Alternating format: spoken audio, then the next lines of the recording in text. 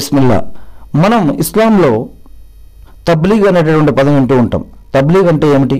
తబ్లీగ్ అంటే ఖురాన్ మరియు హదీసులని చదువుతూ వింటూ అర్థం చేసుకుంటూ వాటి ప్రకారం జీవించడానికి ప్రయత్నిస్తూ అంతేకాకుండా దానితో పాటు ఇతరులకి తెలియజేయడం కోసం ప్రయత్నించడాన్ని తబ్లీగ్ అంటే అంటారు.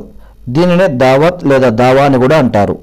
కొంతమంది తాము కుటుంబంతో ఉంటూ తమ వ్యాపారాలు లేదా జాబులు చేసుకుంటూ ఈ యొక్క తబ్లీగ్ అనేటటువంటి ఇస్లాం కోసం దావత్ కోసం కొంత సమయాన్ని తీస్తూ కొంతమంది ఇతరులకి మరి షిరుకు నుంచి వారికి ఆపడం కోసం ఖురాన్ మరియు హదీసులని మరియు ముస్లింలకి మరియు ఇస్లాం గురించి తెలియనటువంటి వారికి తెలియజేయడం కోసం ప్రయత్నిస్తూ ఉంటారు. వీ దీనినే తబ్లీగ్ అని అంటారు. కొంతమంది మరి ఈ ముస్లింలలో ఉన్నటువంటి వారు ఎవరికైతే ఖురాన్ మరియు దిశలో లేదా ఇస్లాం పద్ధతులు తెలియవో వారికి ఆ యొక్క పద్ధతులు తెలియజేస్తూ నేర్పడం కోసం ప్రయత్నిస్తూ ఉంటారు.